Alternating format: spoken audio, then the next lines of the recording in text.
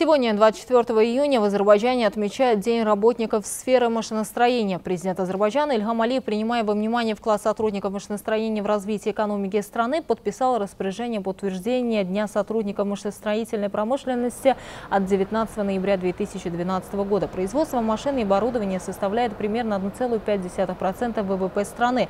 В основном предприятия этой отрасли ориентированы на производство нефтеоборудования. Азербайджан стремится расширить и модернизировать возможности возможности в области машиностроения. В Азербайджане за 2020 год было произведено машин и оборудование автомобилей, прицепов и полуприцепов на сумму более 350 миллионов манатов.